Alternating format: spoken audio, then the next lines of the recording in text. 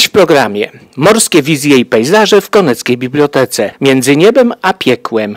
Lanzarote w fotografii Magdaleny Ryc. Tym razem w Galerii Ars Libris przy Miejsko-Gminnej Bibliotece Publicznej w Końskich swoje prace plastyczne zaprezentowali członkowie sekcji artystów plastyków z Mazowieckiego Towarzystwa Kultury w Warszawie. Wystawa, na której zgromadzono kilkadziesiąt obrazów o tematyce marynistycznej, autorstwa ponad 20 plastyków, zatytułowana jest Morskie wizje i pejzaże. W wernisażu wzięło udział czworo autorów prezentowanych w galerii prac plastycznych. Państwo reprezentują Mazowieckie Towarzystwo Kulturalne, tak, tak, to się, tak to się nazywa i to właśnie towarzystwo, czyli pod auspicjami tego towarzystwa Konecka Biblioteka Publiczna Miejsko-Gminna zorganizowała dzisiejszą wystawę.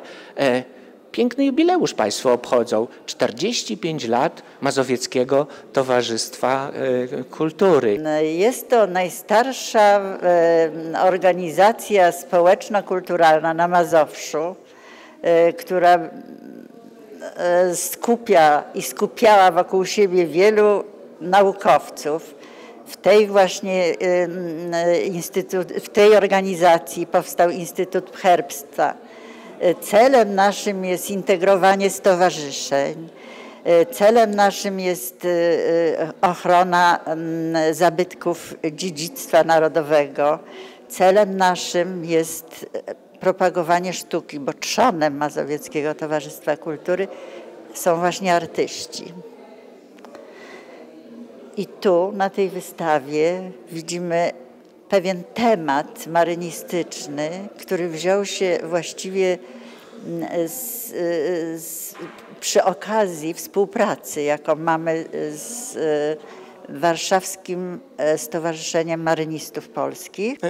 Proszę Pani, wydaje mi się, że to nie przypadek, że znaleźliście się Państwo tutaj, w tej bibliotece, w tym miejscu i, i w tym mieście, że tutaj jakiś podtekst jest pod tym wszystkim. Dlaczego w Końskich Bibliotece?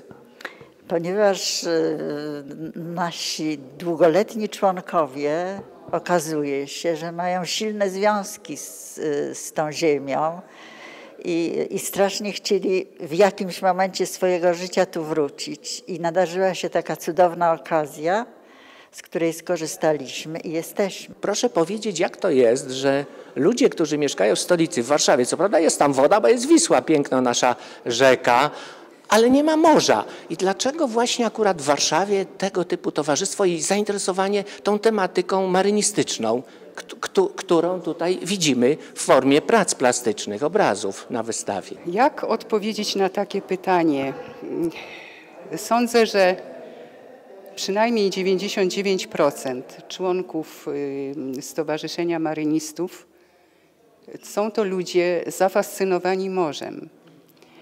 I stąd bierze się potrzeba uwieczniania morza w naszych obrazach. Różną techniką, różnymi sposobami, o różnych porach roku. Mogę powiedzieć z własnego doświadczenia, że bardzo lubię jeździć nad morze, niezależnie od tego, czy to jest piękna pogoda latem, czy jest to zima. Morze o każdej porze roku ma inny wymiar, inne inny odbiór, inaczej wygląda. I tak przypuszczam, bo to również i po, po rozmowach z koleżankami, z kolegami, że my, członkowie Stowarzyszenia Marynistów, ukochaliśmy morze. Przede wszystkim ukochaliśmy morze. Z panią już się tutaj spotkałem. W tym samym miejscu kilka miesięcy temu była pani indywidualna wystawa prac. I dziś znów się spotykamy, czyli okazuje się, że pani również jest zainteresowana tą tematyką marynistyczną, że również pani, panią to fascynuje i, i pani prace są na tej wystawie. Ja w Stowarzyszeniu Marynistów właściwie też jestem od początku założenia Stowarzyszenia Marynistów, nie mówiąc, że jestem tak samo w Stowarzyszeniu Mazowieckim, bo to jest grupa, która jest tu i tu. Natomiast dlaczego tu jestem w Końskich? Dlatego, że ja się urodziłam w Końskich i całe moje dzieciństwo związane z Końskimi. Studia skończyłam w Łodzi. Później rodziców miałam tutaj i mnie, po prostu ciągnie mnie zawsze do końskich. No niestety jednych ciągnie jak są, a drudzy się wypierają korzeni, a ja właśnie bardzo lubię te strony. No i, i dwa lata temu postanowiłam zrobić indywidualną wystawę. W, ubiegłym, w tym roku, parę miesięcy temu, y, mąż, mężowi pośmiertną zrobiła wystawę. No i teraz po prostu namówiłam też kolegów, y, żeby, ponieważ wszyscy jakoś są związani z końskimi okolicami końskich, żeby po prostu jeszcze raz zrobić wspólną wystawę. No i tym sposobem jesteśmy w końskich bibliotece, a temat marynistyczny, bo jesteśmy oprócz tego, że w Mazowszu jesteśmy marynistami. No na pewno pan ma również tutaj jakieś związki z ziemią konecką, ponieważ to jest niemożliwe, że trzy panie e, to już tutaj jakby wyspowiadały się z tego tematu. Dlaczego tu wracają do tego miasta, do tego mm, pięknego naszego e, krajobrazu leśnego, bo tu lasy w koło przez Świętokrzyska ziemia. I myślę, że pan również ma tu jakieś związki. Tak, Roman Stachera z Mazowieckiego Towarzystwa Kultury, jestem przewodniczący grupy artystów.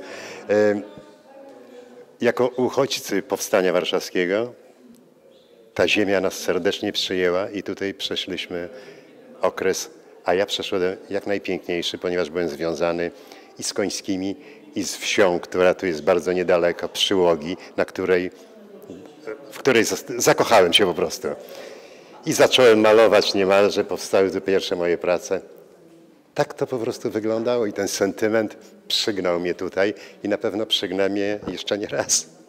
I, I, bardzo dobrze, bardzo byśmy się cieszyli, wszyscy ci Państwo, którzy dzisiaj byli tutaj e, z Państwem i z nami, oglądali te prace, żeście Państwo ciągle, ciągle do tego miasta, do tego miejsca wracali i coraz to nowe swoje e, dzieła, sztuki prezentowali. Dziękuję Państwu serdecznie za rozmowę. Dziękuję bardzo. Prace warszawskich artystów można oglądać codziennie oprócz niedzieli świąt w godzinach pracy biblioteki. Serdecznie zapraszam. W Koneckim Domu Kultury miłośnicy fotografii i dalekich podróży mogli uczestniczyć w wernisażu wystawy fotogramów studentki odbywającej roczny staż na jednej z wysp kanaryjskich Lanzarote. Autorka około 100 zaprezentowanych fotografii w interesujący i niekonwencjonalny sposób opowiadała o urokach tej zaskakującej swoim wyglądem i niepowtarzalnym pięknem przyrody małej wysepce. Na zdjęciach Magdalena Rydzu chwyciła zarówno surowe i nieziemskie, prawie księżycowe krajobrazy powulkaniczne, jak też skąpane w słońcu, piaszczyste, położone nad oceanem plaże. Podczas spotkania uczestnicy mieli także okazję do spróbowania tradycyjnych potraw mieszkańców wyspy. Wystawę można zwiedzać codziennie w godzinach pracy Domu Kultury. Serdecznie w imieniu autorki i organizatorów zapraszamy.